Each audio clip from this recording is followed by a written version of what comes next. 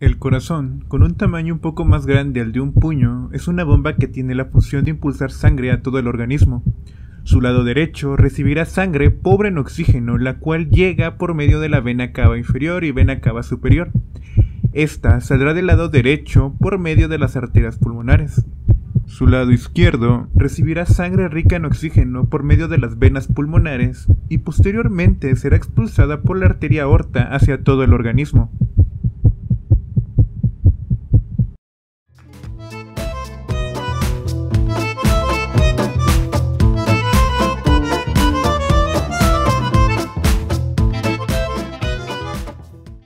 La orientación del corazón será similar a la de una pirámide cuya punta se encontrará caída hacia adelante, hacia abajo y hacia la izquierda, quedando con la punta de la pirámide anteriormente y la base de esta posteriormente. El vértice, que estará formado por parte del ventrículo izquierdo, quedará detrás del quinto espacio intercostal izquierdo, a 8 o 9 centímetros lejos de la línea media. Las caras de la pirámide quedarán relacionadas de la siguiente manera. La cara inferior, que descansa sobre el diafragma, estará formada principalmente por el ventrículo izquierdo. La cara anterior, que mira hacia el esternón, estará formada principalmente por el ventrículo derecho.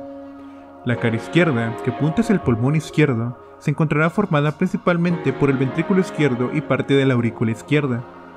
Y la cara derecha, que apunta hacia el pulmón derecho, estará formada por la aurícula derecha. Respecto a la base, podemos decir que esta será un cuadrilátero que apunta posteriormente en relación al cuerpo y que abarca una longitud que va desde los cuerpos vertebrales de T5 a T8 en una posición supina y de T6 a T9 en una posición de bipedestación. Esta base estará formada principalmente por la aurícula izquierda, una porción de la aurícula derecha, parte de los vasos como la vena cava inferior, vena cava superior y venas pulmonares. En estas canas cardíacas que hemos mencionado veremos surcos externos. Estas serán depresiones formadas por los tabiques que dividen las cámaras cardíacas internamente. Tendremos un surco coronario que rodeará el corazón y que marcará la división entre las aurículas y los ventrículos.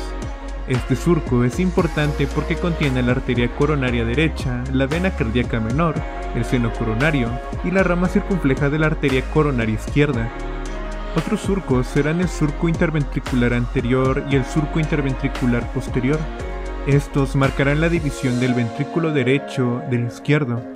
El surco anterior contendrá la arteria interventricular anterior, la vena cardíaca magna. El surco posterior, que descansará sobre el diafragma, contendrá la arteria interventricular posterior y la vena cardíaca media o interventricular posterior.